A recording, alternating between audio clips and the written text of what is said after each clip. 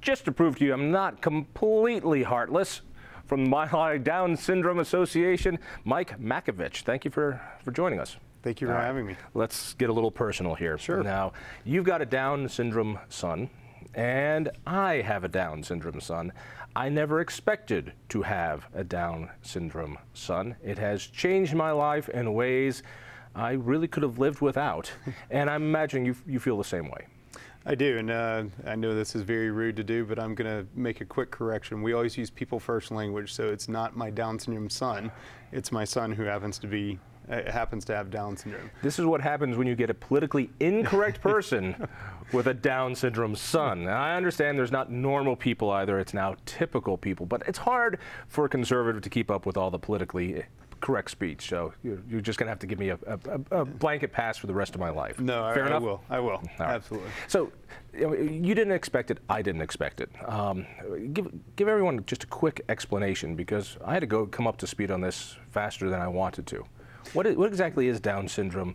And assure people it's, it's, it's not as contagious as it seems. It's not. You're not going to catch it from drinking out of the same water fountain. You're not going to catch it from someone sneezing and touching a door handle. It's it, it's not a disease. First of all, it's a it's a genetic disorder. It is the most commonly occurring genetic disorder, chromosomal genetic disorder. It occurs out of one out of every 690 live births.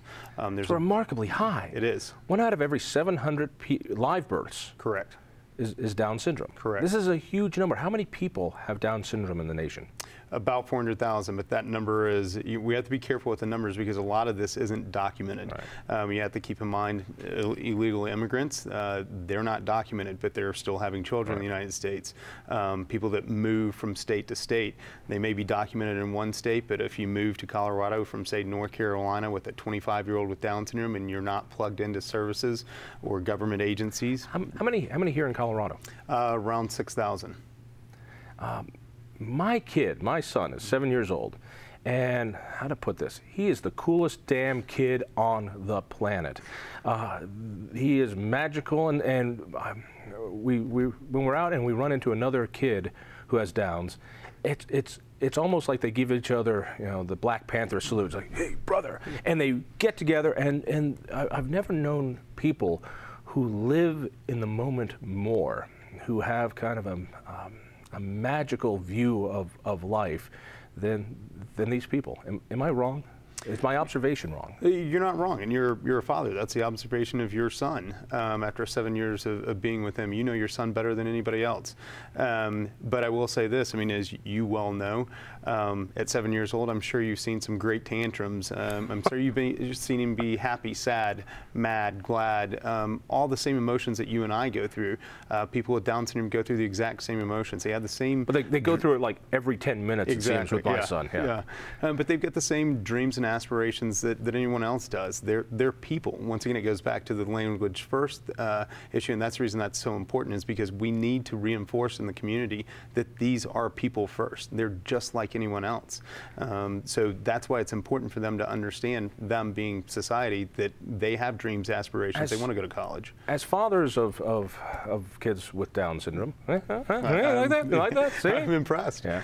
Um, we, I worry. You got to worry. Uh, worry about how his quality of life. Will he be able to be independent? Will he be able to take care of himself? Um, you know, people don't quite understand a Down's kid if if you don't have if you don't have a kid with Downs. Yeah, yeah, yeah, yeah. yeah.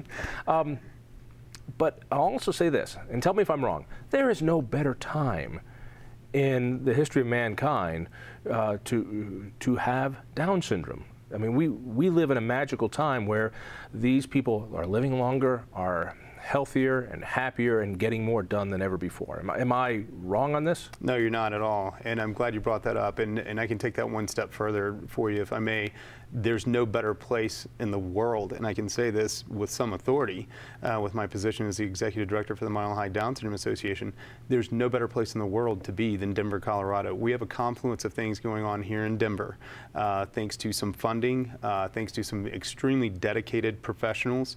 You have the Sie Center for Down Syndrome, which is a pediatric organization out at the uh, Children's Hospital. You have the Linda Crnic Institute researching the, and I'm not a scientist, but the biology right. of Down syndrome syndrome and what that entails, um, hoping to eradicate the cognitive and uh, physical ill effects of Down syndrome. Not getting rid of Down syndrome. We don't want to, you know, that's not the point, but to make the lives of those with Down syndrome better.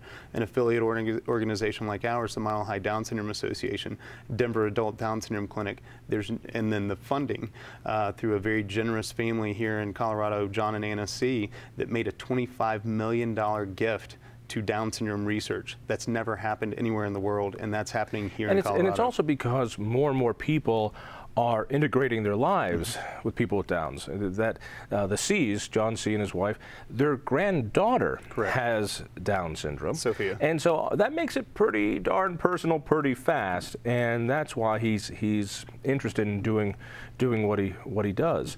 Uh, but we we also also want to make sure that people understand um, uh, that my son has every opportunity as any other American. Yeah, he's gonna he's gonna need some help, and uh, it, it, took a while. It took a lot of work and a lot of operations. My son has been through ten operations, including open heart surgery at, at just a, a, few months. Actually, just a few, excuse me, just three weeks old, which goes to why I believe in the importance of, of, of, research and development in healthcare and why I'm not a big fan of Obamacare. Your son has been through a through a, his his share of, of surgery too. He actually hasn't had surgery. He was born with every conceivable heart issue. They all luckily healed themselves. That doesn't mean that something couldn't happen in the future. Um, but you're right, and to go back to your earlier point, you know, the money's only going to take us so far, and then we need to see a cultural shift. The money's great, but it's one one component to the story of making these people's lives better. But when you say cultural shift, help me out. And, and I want to make sure people understand a, a, Down syndrome person is somebody who has an extra chromosome. So you think you're special, these people have one more chromosome than you. So, mm. and and because of that, they, they are developmentally disabled. That is, it takes them a lot longer. They are delayed in learning the things that they need to learn. Um, and also, they have a host of physical issues. Uh, and it seems like whatever problem anybody else has, they have it worse. It just seems to be that way. But, but they also have the, you know, the same hopes and dreams and, and um, uh, remarkable different personalities. Um, when, when you start talking about a civil rights issue. Explain that to me, because I don't know if I quite follow you. I can give you a concrete example. It happened uh, probably two months ago in Wyoming. A child with Down syndrome, we call it multiple diagnosis. The child has six years, six years old, has Down syndrome, uh, autism, and unfortunately has uh, seizures child in the classroom in a summer program in the school that he went to last year and is now attending again this year had a seizure in the middle of his classroom when he awoke, he had wet his pants. What did the teachers do? They locked him in a closet because he tried to take his pants off to get out of his wet clothes. That's a civil rights issue. No one should ever be, no child, no one, no human being should be locked in a closet because they wet their pants. And so these teachers, thinking that they were doing the right thing, I'm not sure what they were thinking to be honest, locked the child in the closet because he wet his pants during a seizure that's a civil rights issue. Somewhere as we're having this conversation right now, someone's being denied proper medical attention, educational opportunities, social opportunities, employment, simply because they have the diagnosis of Down syndrome. Well, let me play devil's advocate. Sure. That's what I do. If I'm an employer, I am not going to employ somebody who does not do the job well. And I'm, I'm not going to hire someone with Down syndrome if it is something that takes a lot of cognitive abilities or physical abilities to do the job. And so can we come in with the ADA and say, no, you've, you've got to hire, hire this, this person anyway? No, I think you hire people on the merits of, of their abilities. Um, wouldn't you love to have a workforce that you've got people under your supervision that have not missed a day of work in 17 years? There's a young man that works at a King Supers here in town. He's worked there for 17 years. The only days he's missed is when he's been sent home from a business because he's been sick. Um, he's shown up to work sick and they sent him home. From a business perspective, and I employ people myself as the executive director, I hire and fire. Um, I would love to have a um, a, staff, a workforce that, that are committed. And then I don't have to spend the time, the money, and the energy on retraining. I'll give you a worry of mine, and I'm, mm -hmm. I'm being very heartfelt. I'm not worried about Downs kids. This, these kids are loved and they're taken care of and they're smothered with affection because they give so much affection. And I'm, I'm not worried about my son as a young boy because uh, he's he's just too damn adorable that I don't need to worry about it. If he goes into the street, somebody's going to find him and, and, adopt him. I mean, he's just that great. I worry about him as a man. I worry about how society is going to treat someone who looks very different, who obviously looks mentally disturbed or deranged, who might not speak as well or might not speak at all. Uh, he's only now starting to put out a few words. And I worry about how society is going to treat him then. Right now, society treats him well. Everyone loves my son. But when my son is 25, will it still be the same? That's why this is so important. It's um, it's not just up to me and you as parents.